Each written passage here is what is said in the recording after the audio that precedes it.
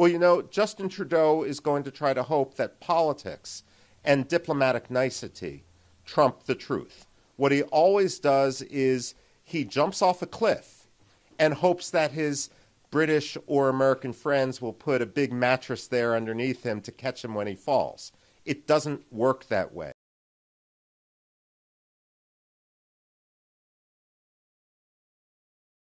My, the outtake on this is that the Americans realize that there is a nuanced problem.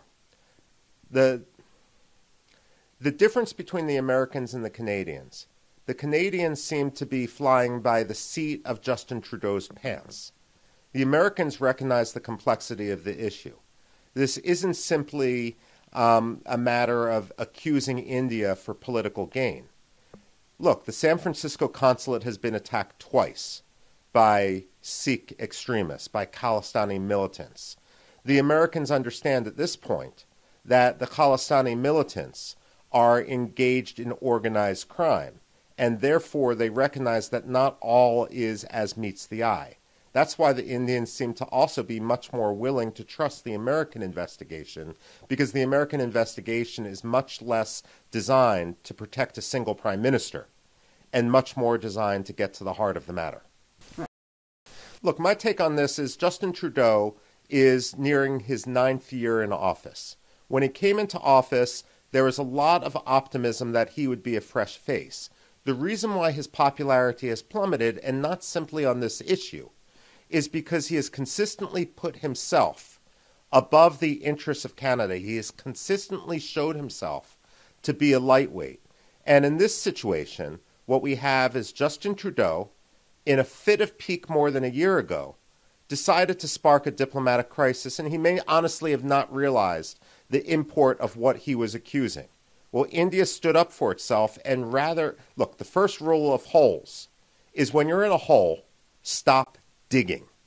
And you know, it seems that Justin Trudeau is intent on digging his way to China at this point, simply because he's not going to acknowledge his own mistake, because he's putting his ego above the national interests of Canada. Well, look, the Indians have every right to be angry for two reasons. First of all, when I read many of the leaks, and some of the leaks were also published in the Washington Post not too long ago, there was a lot of assumptions made, two or three degrees of separation. What the Canadians are essentially saying is this plot goes to the top of the Indian government because some of those who have conspired are two or three degrees removed from Prime Minister Modi. Well, you know what? I've done this game before where I've found that I'm two or three people removed from the presidents of most countries on earth. That doesn't mean that when I get a speeding ticket when I'm driving, that somehow the government of China or the government of Turkey or the government of South Africa is responsible. That's the type of logic we're dealing with. When they don't have the evidence, the Canadians seem to make it up and say, hey, look, we're Westerners. You got to believe us. And that doesn't fly in India, the world's largest democracy. Frankly, it doesn't fly in the global south or anywhere else in the world. It doesn't fly in the United States. That's where the Canadians are making their mistake. But let's look at this from another perspective. You know, from an American perspective, what the Canadians are accusing the Indians of doing isn't much different from what the Pakistanis accused the United States of doing when we killed Osama bin Laden. And you know what? Maybe the question the Pakistanis should have asked is why were we harboring a master terrorist? And the fact of the matter is, Canada, through initially fraudulent immigration chains, sorry, first, Canada, through initially fraudulent immigration claims and then chain immigration, has set itself up to be a money laundering and terror financing, terror supporting hub. And you know, many Americans, many Canadians may not understand who the what the Khalistan movement is. But when you th- when you think back on Air Canada, when you think back on Air India 182 back in 1985, this group is potentially as deadly and as vicious as Al Qaeda. Justin Trudeau needs to be asking, why am I protecting these people?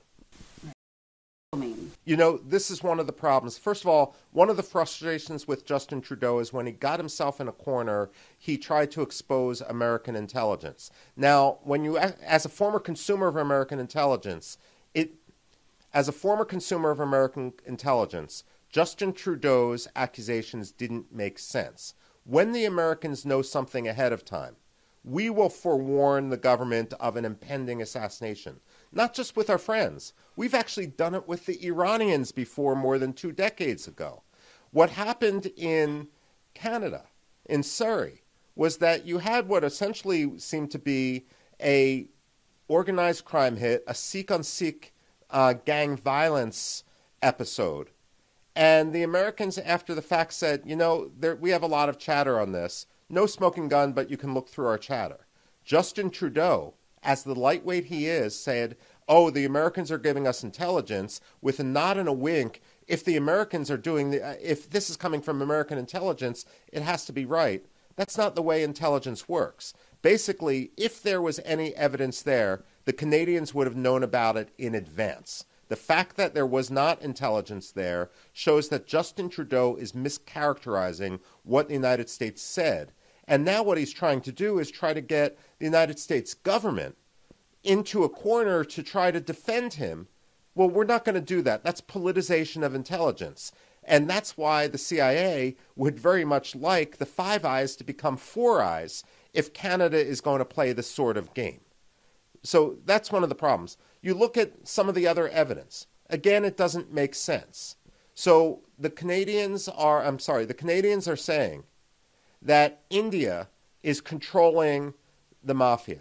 This, this is reminiscent of how JFK, uh, John F. Kennedy conspiracy theorists said that the mafia was and the CIA were working fist and glove with maybe even the Castro administration in order to kill John F. Kennedy.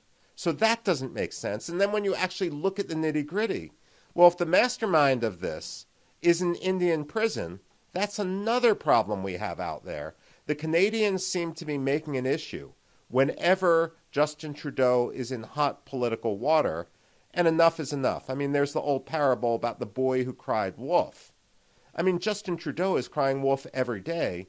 If Canadians don't trust him, why should Indians or Americans? Well, you know, Justin Trudeau is going to try to hope that politics and diplomatic nicety trump the truth. What he always does is he jumps off a cliff and hopes that his British or American friends will put a big mattress there underneath him to catch him when he falls. It doesn't work that way. Our relations with India are way too important. They're way too bipartisan. They date back to the George W. Bush administration, and they're only they're the only thing that really unites George W. Bush, Barack Obama, and Donald Trump and Joe Biden. That's an amazing relationship.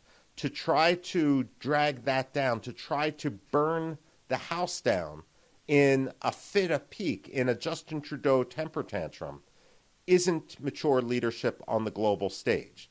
So, what I suspect the Biden administration will do is what we did last time say, we have our own ongoing investigation. We're very happy with the Indian cooperation and perhaps our investigation isn't pointing in the same direction, which the Canadians are claiming theirs is. Well, first of all, when it comes to the American elections, I don't have a horse in this race personally because I'm not particularly a fan of either candidate. But as an analyst rather than an advocate, I worry what a Kamala Harris administration would mean for this issue. On one hand, Kamala Harris will sometimes say, well, I have Indian background. But on the other hand, the problem with Kamala Harris is that her deflection to the progressive base will lead to an unleashing of the worst instincts of the State Department. So, what I worry about is while we have more mature leadership with the Biden administration, uh, more seasoned leadership, under a Kamala Harris administration, we could be much more like Justin Trudeau and that's why I hope that this issue is resolved before Kamala Harris or Donald Trump take their oath of office on January 20th. You know, what I find unfortunate is whenever there's look, there are so many issues in the world today. And whenever we have these multilateral summits, the G20, for example, where this first erupted with Justin Trudeau's accusations, what Canada does and what Justin Trudeau, through his ego, does is he completely derails the agenda when there are so many more important issues at stake. And that is what is becoming unfortunate. That's what's also causing a great deal of frustration with Justin Trudeau outside of New Delhi. And the fact of the matter is, whenever we try to work on something, whenever the world tries to get together to address trade, to address climate change, there's Justin Trudeau saying, hey, look at me. And I mean, the world's had enough of that.